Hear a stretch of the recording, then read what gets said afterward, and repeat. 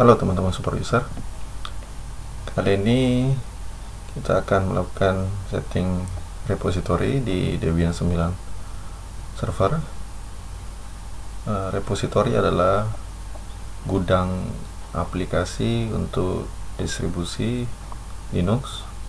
Jadi masing-masing distribusi bahkan masing-masing versi misalnya Debian 9, Debian 8, uh, 10 itu masing-masing ada alamat repository tersendiri.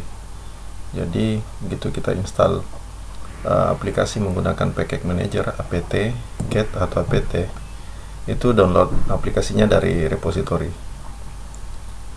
Miriplah dengan Play Store di Android.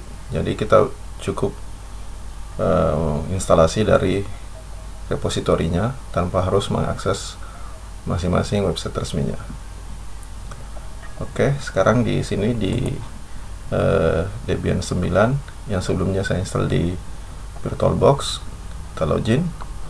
Lalu kita masuk ke konfigurasi repositorinya di source list.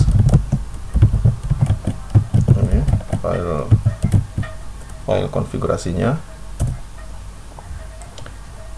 Oke, waktu kita install itu masuknya dari uh, CD-ROM ini kita nonaktifkan. Kemudian kita tambahkan lagi dua repository lain. Ini saya copy saja oke oke kita save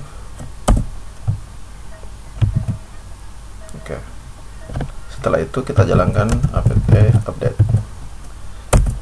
Ini akan memperbarui list aplikasi dan mengecek versi apakah yang terinstall di server ini ada versi barunya atau tidak. Kalau ada versi barunya akan disarankan untuk melakukan upgrade. Oke hasilnya ada 68 paket yang bisa di upgrade kita bisa lihat dengan list upgrade able ini semua. Kalau kita jalankan apt upgrade. Nah ini ada 68 yang harus di upgrade yang perlu di download 84 mega. Setelah uh, download akan lanjut dengan instalasi secara otomatis. Uh, disk space yang digunakan nanti setelah instalasi itu 194 mega kita jawab yes untuk melanjutkan download dan instalasinya. Instalasinya sudah mulai berjalan. Oke okay, proses upgrade sudah selesai. Jadi untuk setting repository ini caranya cukup mudah. Buka file source list masukkan alamat repository yang membedakan dengan versi Debian yang lain misalnya versi 10 kita tinggal ubah nama kodenya kode rilisnya. Ini Debian 9 nama kode rilisnya stretch. Kalau Debian 10 uh, nama kode rilisnya buster. Oke itu langkah-langkah untuk setting repository di Debian 9